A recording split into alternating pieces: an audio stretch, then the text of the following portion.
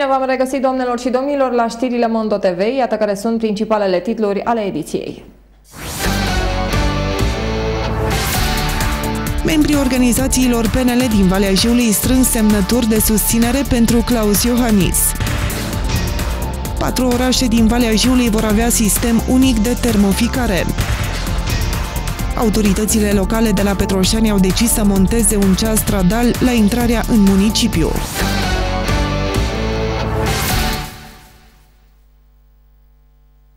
Lupta pentru scaunul de președinte se desfășoară deja peste tot în mass media. Claus Iohannis spune că nu există școală pentru președinte. Ca orice român, ca orice fiu al țării sale, că în aceste momente solemne mă gândesc la țărișoara mea, la România!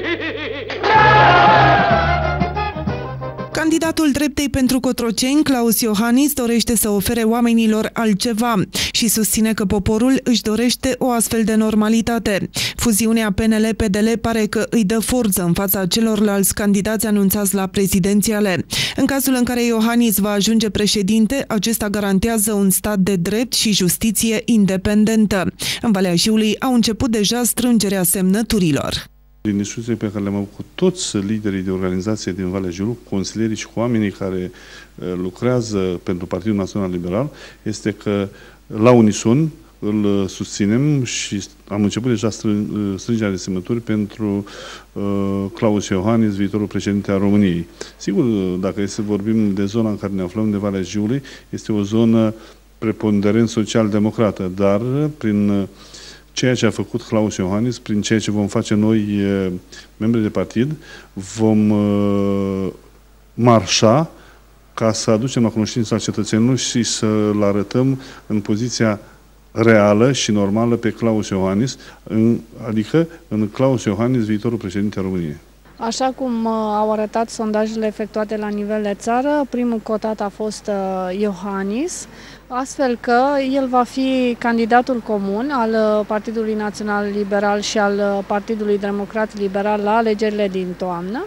S-au stabilit deja numărul de semnături care trebuie să fie Uh, adunat de către fiecare organizație, atât a PNL-ului cât și a PDL-ului, la nivel de județ și la nivel uh, de organizații, astfel că în cel mai uh, scurt timp urmează ca să vedem dacă ne îndeplinim targetul pe care îl avem și cu această ocazie să vedem exact aici la nivel local un prim, să spunem așa, o primă imagine vis-a-vis -vis de modul în care cei de aici din Petroșani îl percepe Iohannis ca și uh, pretendent la președinția României.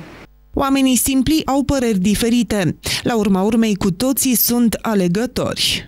Ei, pentru toate astea trebuie să-ți dai votul lui onorabilul domn Cațavencu. Pentru așa alegător, mai bun ales nici că se putea. Pe ponta, ce fac eu cu neamțul ăla?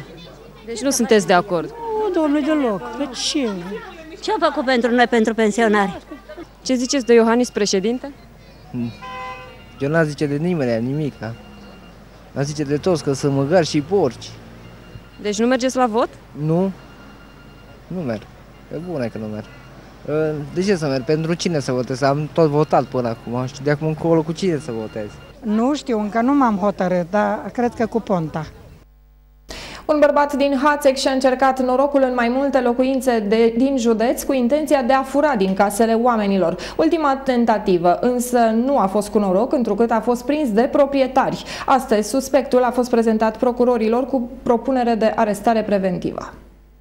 Un bărbat în vârstă de 37 de ani din Hațeg a fost reținut de polițiștii Biroului de Investigații Criminale Deva, fiind suspect de comiterea unor furturi din locuințe. Ultima ispravă a Hunedoreanului a fost vineri de Sfânta Maria, când a pătruns într-o casă din Halm. Ceasul rău, pisica neagră căci proprietarii l-au surprins pe bărbat în timp ce cotrobăia prin casă. În fața anchetatorilor, bărbatul a recunoscut că a intrat în locuințele unor hunedoreni, însă nu că a furat. Ce ai furat? N-am furat. N-am făcut, am cerșit. N-am furat. N-am furat bani, n-am furat nimic, am cerșit pentru că n-am posibilitate să trăiesc în lume. Ai cerșit de la om din casă?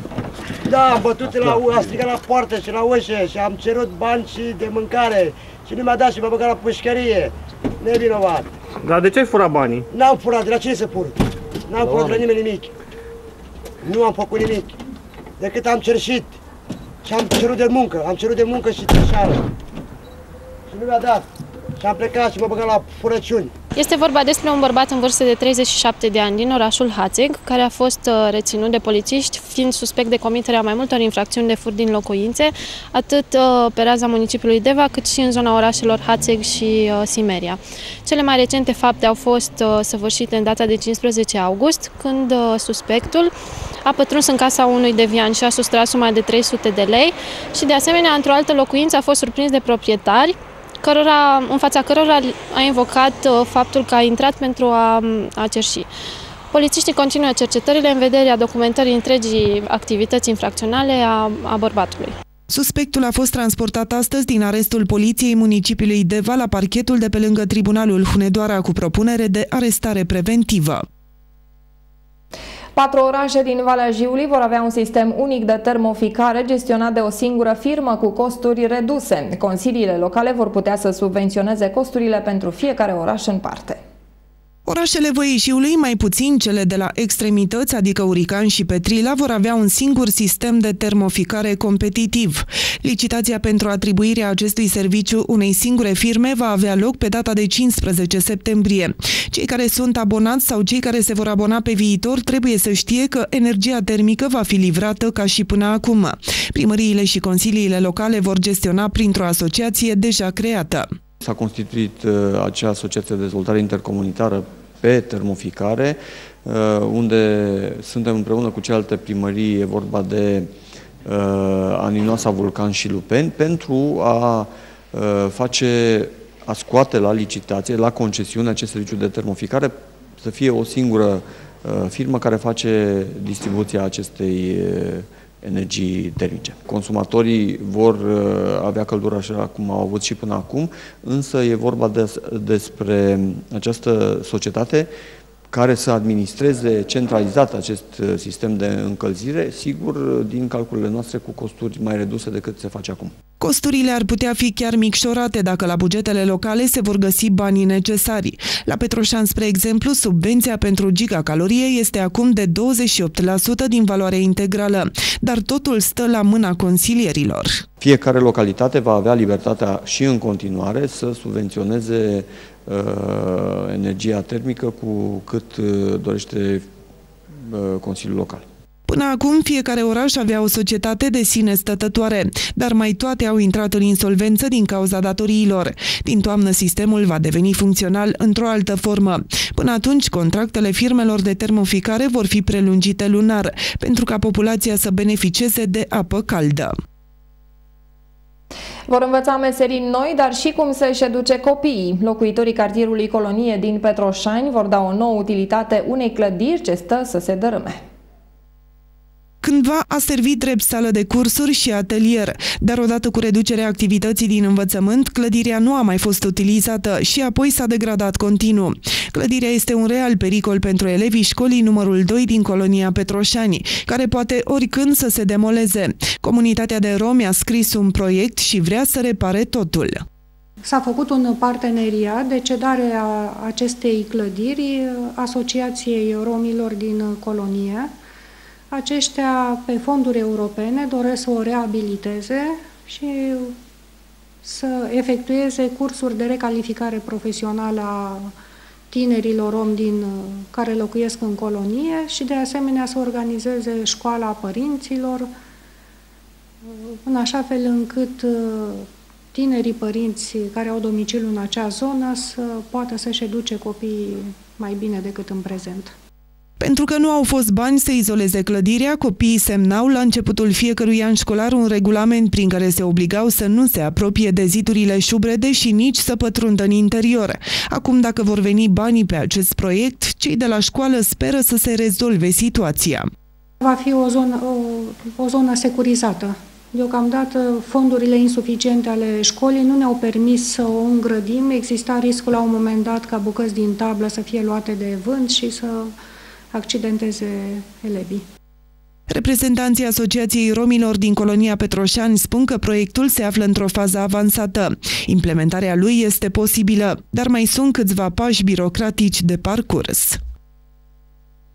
În colonie poate apărea un nou parc de joacă pentru copii. Acesta va fi situat în zona verde între strada Dacia și blocurile de garsoniere. Mai mulți consilieri locale ai primăriei Petroșani au propus un loc de joacă în cartierul Colonie. Parcurile și zonele amenajate pentru joaca copiilor lipsesc în acest cartier. Chiar dacă este declarat zonă istorică, în general acest cartier nu a beneficiat de investiții publice. Proiectele implementate din ultimii ani nu au luat în calcul toate aspectele urbane tehnice și au lăsat în urmă multe probleme. Zona viitorului parc se dorește a fi amenajată, împreșmuită și supravegheată cu sisteme de supraveghere video. Proiectul se estimează la 25.000 de lei, suma putând fi alocată din bugetul local. Am discutat cu mai mulți și colegi și locuitorii din acest cartier și am găsit o zonă verde în fața, pe strada Dacia, în fața Uh, blocurilor de garsoniere care s-ar preta la un mic uh, părculeț uh, dotat cu 8-10 bănci și câteva locuri de joacă pentru copii, împrejmuit. Și totodată ar fi, poziția este bună că nu s-ar și deteriora, nu s-ar vandaliza, e sub supravegherea, supravegherea celor de la, locuitorilor de la bloc și personalului care trec prin zonă. Este și o parcare lângă. Am făcut nota de fundamentare în privința asta, am avut uh, uh, sprijinul tuturor consilierilor la care le-am expus și prezentându-l domnului primar a fost de acord și mi-a promis că îl va băga în uh, îl va introduce în uh, ședința ordinară a lunii august. Ultima oază verde amenajată ca parc și loc de joacă pentru copii, care a și fost vandalizată între timp, este spațiul situat între străzile Grivița Roșie și Radu Șapcă. Administrația locală de la Petroșani a decis să monteze un ceas la intrarea în localitate la intersecția cu stațiunea turistică Parâng. Consilierii au aprobat suma de bani necesară achiziționării primului ceas stradal funcțional din Vale. Ideea montării unui ceas simbolic în Petroșani a fost tergiversată și amânată an la rând. În urma ședinței de îndată ce a avut loc în această săptămână la primărie, s-a alocat suma necesară achiziționării unui ceas electric. Acesta va fi amplasat într-o intersecție intens circulată, în sensul giratoriu între DN66A și drumul ce duce spre zona turistică din Parâng. Au fost expuse câteva, adică ne-au fost aduse în atenție câteva modele, a fost ales unul care a fost agreat de către noi și el urmează a fi montat. Întreaga instalație va costa 3.000 de lei, iar banii au fost alocați marți în ședința de Consiliu. În Petroșani au mai fost cel puțin două astfel de ceasuri. Unul electronic, cam în aceea zonă de la intrarea în localitate, și unul mecanic, ce a funcționat an la rând în fața Casei de Cultură din Petroșani. Acum, în zona respectivă, a rămas doar soclul care așteaptă un monument dedicat eroilor. Vânzări record de pachete turistice în luna august. Agențiile de turism aproape că nu mai au ce să ofere hunedorinilor care doresc să plece în concediu în această lună și nu au făcut rezervări din timp. Dacă doriți să plecați în concediu în această lună, dar nu ați făcut încă nicio rezervare, s-ar putea să întâmpinați dificultăți în a mai găsi locuri disponibile. Și asta pentru că aproape toate sunt deja rezervate. Potrivit agenților de turism, în luna august s-au înregistrat vânzări record la pachetele turistice, atât pentru sejururile din țară, cât și la cele din străinătate, astfel că agențiile de turism aproape că nu mai au ce să vândă. Vara aceasta a mers uh, foarte bine, pot să spun, uh, mult mai bine decât anul trecut. Într-adevăr, a început un pic cam, uh, cam greu sezonul, pentru că în luna iunie lumea a fost ocupată, iulie a fost ploios, în sfârșit, august s-a aglomerat extraordinar de tare. Chiar în ultimile două săptămâni nu prea mai avem ce vinde, pentru că s-au ocupat toate locurile și pe avion și pe autocar, chiar și la litoralul românesc, foarte, foarte greu se mai găsește pe aici colo câte o cameră de vânzare. Acest lucru dovedește faptul că oricât de dificilă ar fi situația economică la ora actuală, hunedorenii nu renunță la plăcerea de a-și petrece concediul departe de casă, chiar dacă se gândesc și la bani atunci când vine vorba despre planificarea vacanței. Astfel, majoritatea a preferat ofertele mai ieftine. Cel mai bine, bineînțeles, că au mers ofertele ieftine, uh, Grecia în general, Grecia fără masă sau uh, sejururile, pachetele cu autocar, dar a mers foarte bine și litoralul românesc. Foarte multă lume a mers la Marea Românească în acest an. Ofertele mai scumpe, cum ar fi țările exotice, unde prețul unui sejur poate ajunge sau chiar să depășească 1000 de euro, sunt mai puțin căutate de hunedoreni, iar Egipt și Tunisia, destinații foarte căutate în anii trecuți, nu mai prea prezintă interes pentru turiști, din cauza conflictelor din aceste țări. Atât în țară cât și în străinătate, prețul sejururilor va scădea din septembrie, când se termină sezonul de vârf. La final vă invit să urmărim împreună informațiile despre vreme.